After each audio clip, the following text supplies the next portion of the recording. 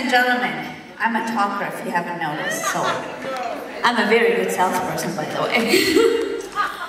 um, why I chose to have this event on my birthday. I have a certain belief system and a philosophy that people cross paths for a reason, A. If anyone comes to your life, there's a reason and a purpose. And I've been preaching this for several years. I, I see some hands, like here I am. Um,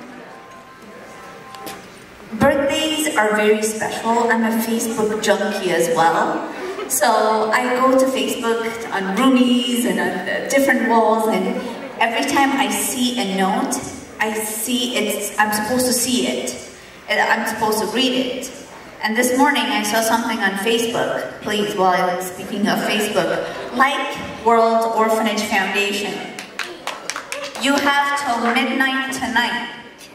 If you like World Orphanage Foundation, I'm gonna put $5 per like. You don't have to give anything from your pocket, LeoBella will.